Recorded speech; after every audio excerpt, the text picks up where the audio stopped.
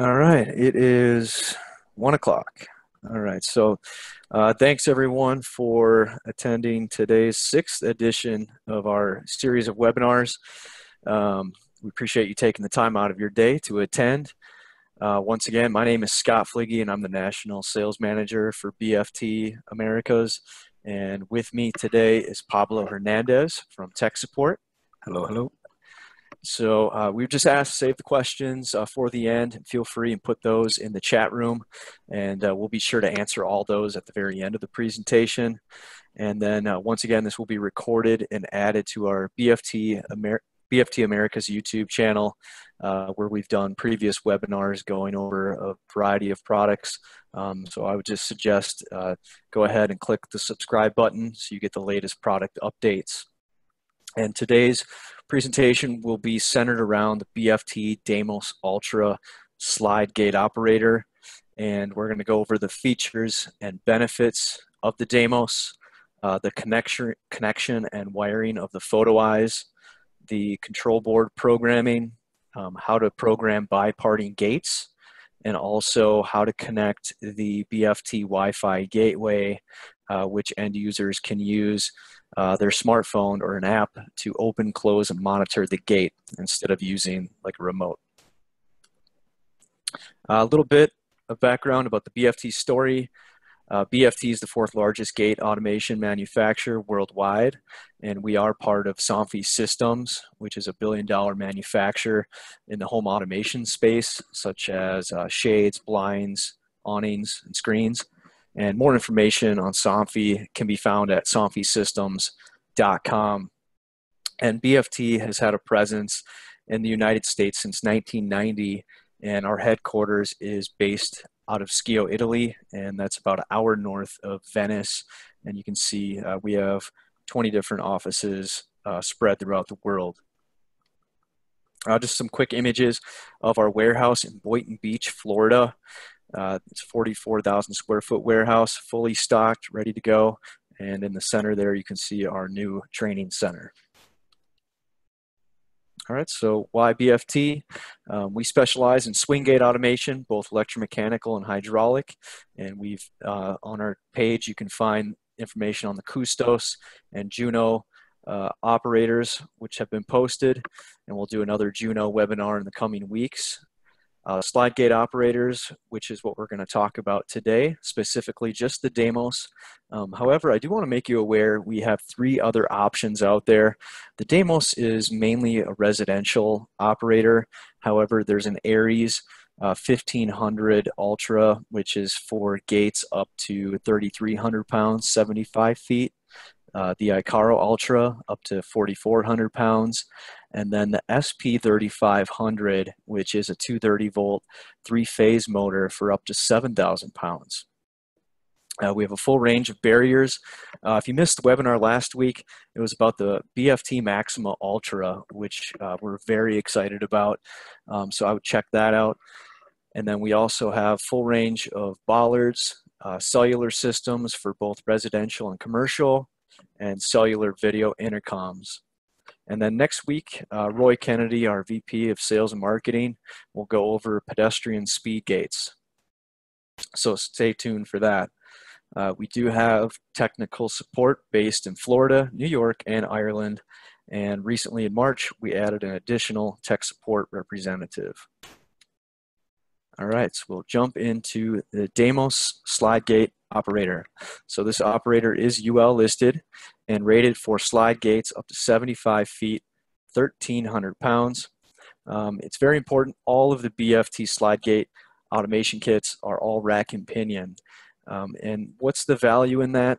It is quiet, it's safe, you can't cut it, it doesn't drag on the ground such as chain, it doesn't stretch or rust. So it's a nice clean install. And once again, the Deimos is used for residential use. It's a 24 volt motor with an integrated control board and receiver. So the image on the bottom there, everything is with inside that enclosure. Uh, so it's small and compact. Uh, it's got frontal screws on the covers, so it's easy to slide that cover on and off. It has magnetic limit switches, which are very reliable. A plug and play battery backup kit that actually goes within that same casing and that will give you about an estimated 40 cycles if the power were to go out. It also has slow down on closing and then uh, Wi-Fi gateway compatible, which will show a video at the end on how that's connected and, and the different features you can do with that. And I'm going to point this out. There's a lot of YouTube videos out there showing how the Deimos works and how small it is, but I just wanted to state that the size of it. People are always amazed when I show this to installers of how small it is. So it's eight inches wide by 10 inches long. Uh, so it's very small and compact and powerful. So there's not a lot of airspace like some of the, um, a lot of airspace with inside the motor like some other brands that you might see out in the field. Uh, so it's a great solution if you have a tight fit area where they're trying to automate or if the customer doesn't want to see the operator. So just a couple things to keep in mind.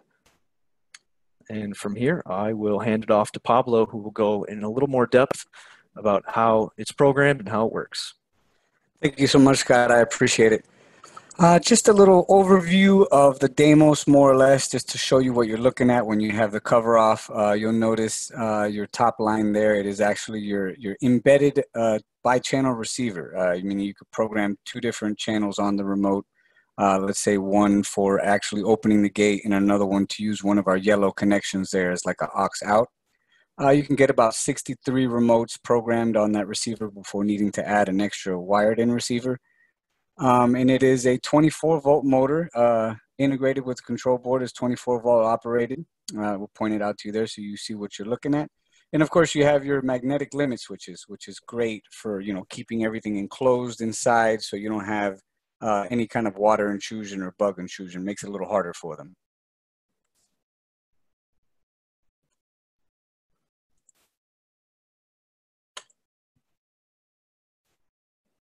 Nope. All right. There you go. There you go. All right. Uh, my apologies. Here we go. And this is a, another basic look at. You'll notice that we have a little cover, uh, you know, basically protecting the control board. Uh, it is easy to remove if needed. Um, and of course, uh, you'll see where you would actually bolt down your operator. And then of course your, your easy lever uh, manual release. Uh, basically it's uh, they all come with a number two key. You'd be able to turn that and basically have your gate, you know, manually release. So you're able to move it by hand uh, for any type of power outages or things like that. Uh, here's a quick overview of where you would want to actually put your operator um, in in according to where you have your your gate or your your sliding rack. Uh, so basically, what you would do is is you would measure 17 millimeters plus the size of your rack. So that would be, you know, once you get that measurement, that'll, that'll give you uh, your optimum space of where to actually install your operator. And of course, it does come with a mounting uh, base so you can have all your anchors set correctly.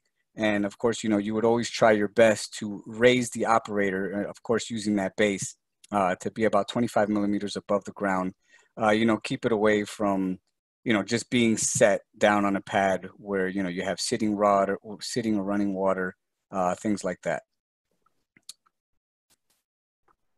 Um, of course, here's a, a quick little uh, guide of how you would um, put two pieces of rack together. Believe it or not, I've had people question, you know, how to get that level. And, you know, all you would really need is another small third piece of rack to just, when you butt them up against each other, your other rack would actually keep it nice and level. Uh, so you have smooth running on your operator, no little weird kinks uh, or hard spots for when the operator's moving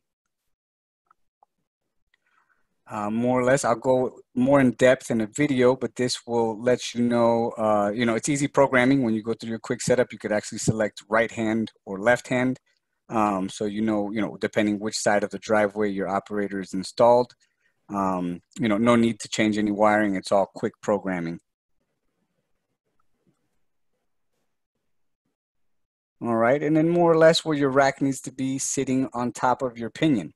Uh, quick little uh, piece of information here is actually uh, I have a lot of people that you know do not uh, for some reason they just put the rack resting on your pinion and you would not want to do that you don't want to put any weight on the pinion you'd actually between the teeth of the pinion and your rack you'd want to keep like a like let's say an eighth of an inch gap uh, between where the teeth meet inside uh, because what that does is obviously keep your operator running optimum and not putting any extra strain on the gear drive or anything like that inside the motor and give you a lot of long extended use.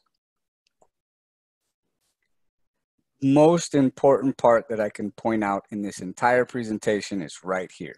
Of course, you all know about the UL, uh, the new UL certification, meaning we need a photo beam installed. Uh, yes, it is mandatory and we have to put it on there, but uh, BFT's way of doing it is we actually went with a tested route instead of the 10K route. So if you notice the little warning in the bottom right-hand corner there, it says no 10K resistor needed. It will cause errors, and the errors you will probably see is error 01 and error 04.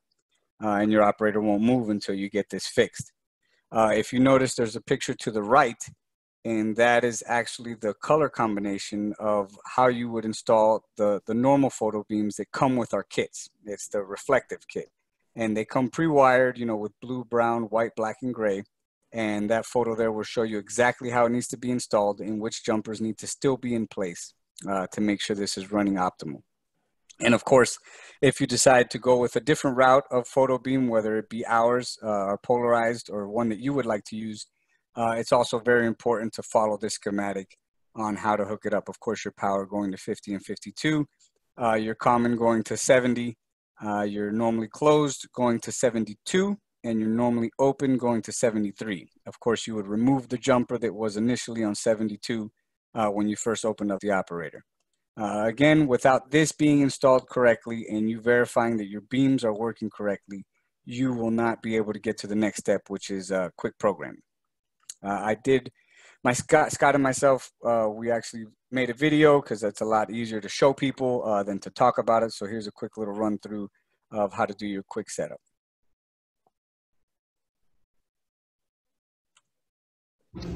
Hello everyone, just going over the limit switches on how it needs to be positioned and to make sure this is done obviously before you try to run the operator.